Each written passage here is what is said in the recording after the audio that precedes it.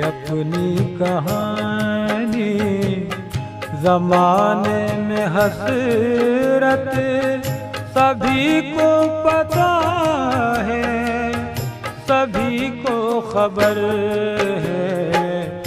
मुसाफिर हैं हम तो चले जा रहे हैं, बड़ा ही गज़ल